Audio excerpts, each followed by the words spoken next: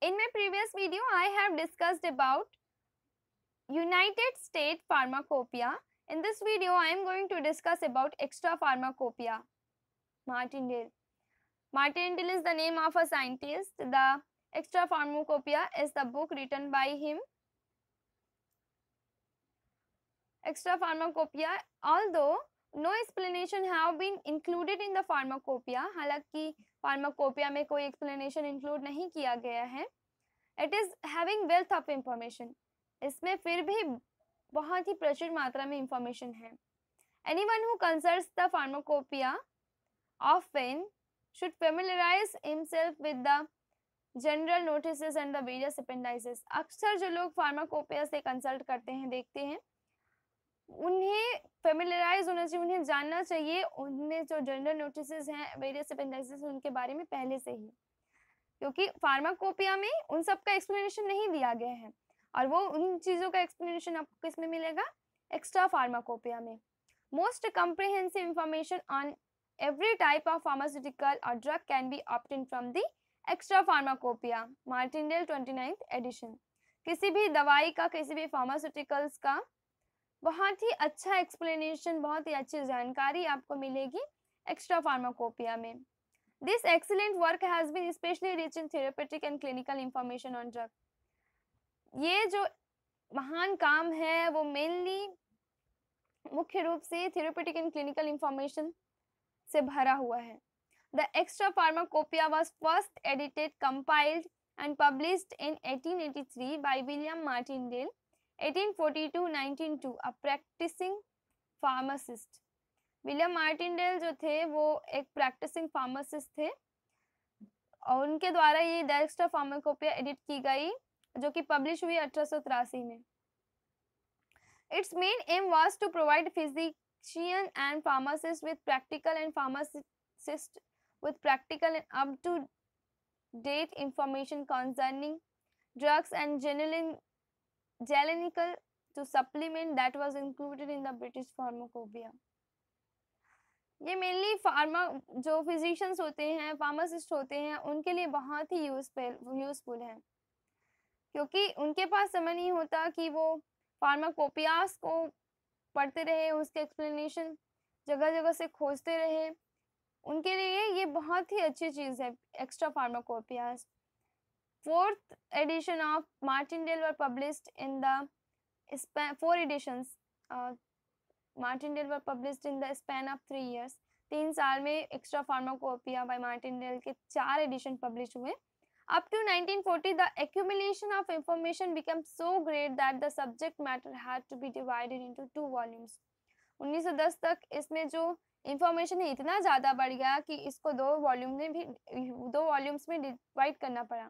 लगभग सभी फार्माकोपियास की वही हालत हो गई दो क्या आजकल बहुत सारे वॉल्यूम्स हो गए हैं।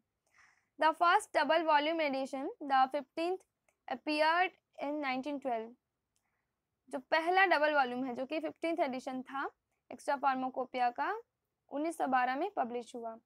The copyright of the extra pharmacopoeia was acquired by the pharmaceutical society of Great Britain in December 1993 upon the death of Dr. W. H. Martindale, son of William Martindale, and since the so since then the society is continuing to issue it under the editorship of the director of its Department of Pharmaceutical Sciences. जो extra pharmacopoeia है उसका copyright pharmaceutical society of Great Britain के द्वारा 1933 में acquire किया गया अब उसकी एडिटरशिप की ज़िम्मेदारी doctor director of the its department pharmaceutical sciences को है The 24th edition of volume first was published in 1958 and 23rd edition of volume 2 is published in 1955. जो चौबीसवा एडिशन है वॉल्यूम वन का, वो पब्लिश हुआ उन्नीस में और तेईसवा एडिशन वॉल्यूम टू का उन्नीस में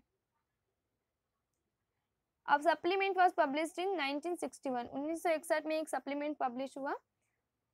The twenty fifth edition appear in February while twenty in July nineteen edition फरवरी उन्नीस को पब्लिश हुआ, जबकि छब्बीसवा एडिशन रिलीज़ हुआ जुलाई उन्नीस सौ बहत्तर में। Now the highly acclaimed Martindale nineteen now in its 13th edition contains up-to-date authoritative information on drugs and medicines in use throughout the world. अब एक्स्ट्रा फार्माकोपिया बाय मार्टिंडल्स का ये थर्टीन एडिशन आ चुका है जो कि authoritative information to drugs and medicine के लिए यूज़ होता है पूरे संसार में It is written for the practicing pharmacists and physicians and for all those involved in use of drugs and medicines. Mainly pharmacist के लिए प्रैक्टिसिंग फार्मासिस्ट के लिए और फिजिशियंस के लिए था और जो भी व्यक्ति ड्रग और मेडिसिन की जानकारी से लेना चाहता है उनसे इन्वॉल्व हैं वो एक्स्ट्रा फार्माकोपिया का उपयोग करते हैं This new edition of Martindale has been markedly changed in order to meet the requirements of today's reader. जो नया एडिशन है मार्टिनडेल का बिल्कुल इस तरह से डिज़ाइन किया गया है कि वो आज की रीडर्स की रिक्वायरमेंट को पूरा कर सकें These changes include a massive increase in information on proprietary medicines, a significant shift to a more clinical emphasis, an increase in the number of reference reviews, and shortening of the user period between editor editions to meet the need for up-to-date information. So this is the end of the video. Thanks for watching till the end. And here is a quote, the first law of success is concentration. To bend all the energies to one point and to go directly to the point, looking neither to the right nor to the left. The quote is by William Matthews. And please subscribe my channel and also press the bell icon to get the latest latest updates of my videos and share my videos with your friends